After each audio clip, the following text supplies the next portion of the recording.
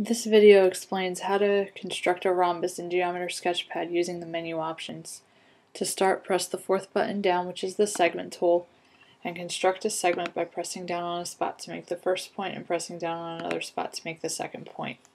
With this segment highlighted, select Construct Midpoint, which is a shortcut of Control M on a PC or Command M on a Mac. Next, select the Circle tool, which is the third button down, and construct a circle with the midpoint as your center and extend it to any point on our line segment. I'll stop here.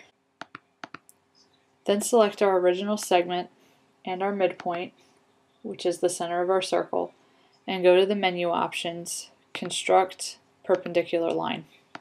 You see that the circle has two intersections with the perpendicular line. These two intersections, along with the endpoints of our original segment, will be the vertices of our rhombus.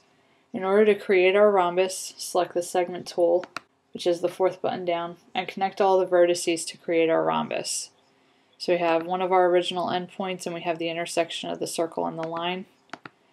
And then I go from that point to our other endpoint, the second endpoint to the other intersection point of our circle and perpendicular line, and back to our original. Last we're going to hide the extra segments and lines and the circle and also additional points that we do not need. So once you highlight everything, go to display hide objects which is command H on a Mac or control H on a PC and we can verify that this is a rhombus by measuring the segment lengths and angle measures. First let's do the segments. Select all of your segments and go to measure length and they all measure the same amount. Now let's do each angle individually and remember that the middle letter that we need to select out of three is our vertex. So if I'm doing E I have to start with one of the other two points. So I'll start with F and then E to G. And then I'm going to go to measure angle. And then I'm going to keep going around our shape to measure each one.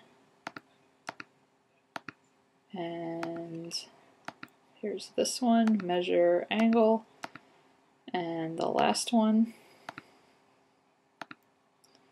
measure angle. And if you notice that the two opposite angles are congruent, and since all four sides are the same, this is therefore a rhombus. I hope that you found this video helpful, and I hope that you have a great day.